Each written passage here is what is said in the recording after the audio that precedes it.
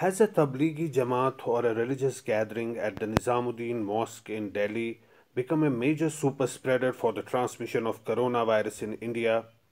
A congregation of 2000 religious preachers, including those from Malaysia, Indonesia, and Kyrgyzstan, took place at Nizamuddin in mid March. A 65 year old man from Kashmir died due to coronavirus on March 24. He had traveled to Delhi on March 7 from Srinagar and was at the Nizamuddin Mosque from March 7 to 9.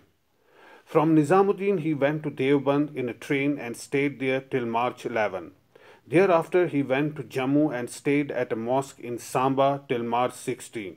From March 16 to March 18, he was at a mosque in Sopor with the Tablighi Jamaat. जो आपने श्रीनगर की death की कहा वो six March को यहाँ आए थे नाइन मार्च को ये वहाँ यहाँ से गए हैं और उनकी जो कॉज ऑफ़ डेथ था वो डायबिटीज़ थे हाइपरटेंसी थे ओबेसिटी थे।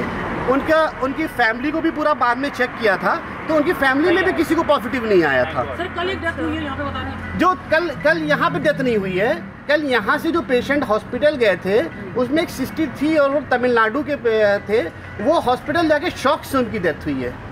वो घबरा गए बहुत ज़्यादा उनका बीपी वगैरह लो हो गया। रिपोर्ट आएगी हाँ उनकी रिपोर्ट आएगी। There are fears that a big gathering where social distancing may not have been practice could potentially trigger a chain reaction with participants spreading all over the country.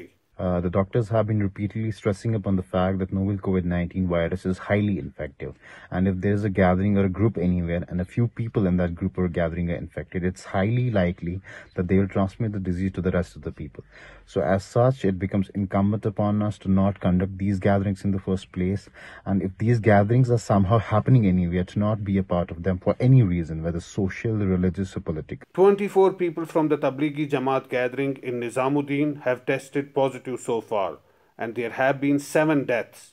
On Monday, six died in Telangana due to corona, who were a part of the same gathering.